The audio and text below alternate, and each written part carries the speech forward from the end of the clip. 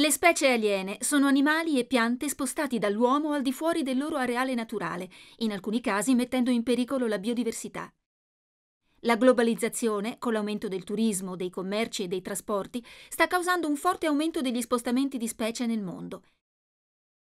Le introduzioni di specie aliene possono avvenire intenzionalmente o accidentalmente, con diverse modalità. Ad esempio con il commercio di animali d'affezione o di piante ornamentali, o con la pesca. Le specie possono anche essere trasportate accidentalmente su aerei e navi, spesso come contaminanti delle merci. Molte specie aliene si sono già insediate tra noi e alcune, a volte anche molto graziose, possono essere una grave minaccia. Quelle specie aliene che hanno un impatto sono considerate invasive e sono uno dei fattori chiave della perdita di biodiversità globale.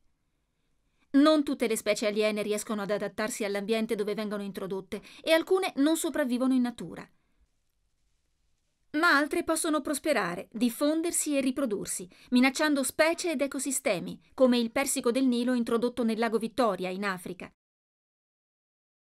Il risultato è stata la scomparsa di centinaia di pesci endemici, causando una catastrofe ecologica irreversibile. Purtroppo questo non è un gioco. L'Unione Mondiale per la Conservazione della Natura, IUCN, ha creato un sistema per classificare le specie aliene in base al loro impatto sulla biodiversità. Il sistema si chiama EICAT, che sta per Classificazione dell'impatto ambientale delle specie aliene. Il metodo EICAT classifica le specie in modo semplice, obiettivo e trasparente, in base all'entità del loro impatto, da massivo a trascurabile. Ad esempio, una specie ha impatti massivi quando porta all'estinzione di specie autoctone e produce cambiamenti irreversibili degli ecosistemi. Come il pesce persico del Nilo, che ha portato all'estinzione di centinaia di pesci endemici.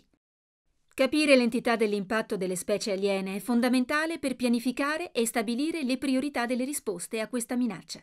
Se vuoi saperne di più, visita www.iucn.org.